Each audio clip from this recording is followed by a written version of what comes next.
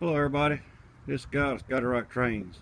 I was uh, volunteering to help Cuz out with all his broken stuff. He, what's that thing called? Field cultivator. It's uh, messing up and bearings out here in this old RWA and it used to be mine and I'm the one that put all the blades on it back in the good old days. So uh, I'm gonna try to help him speed up the production here and take this here uh, gang off and tear it down and uh,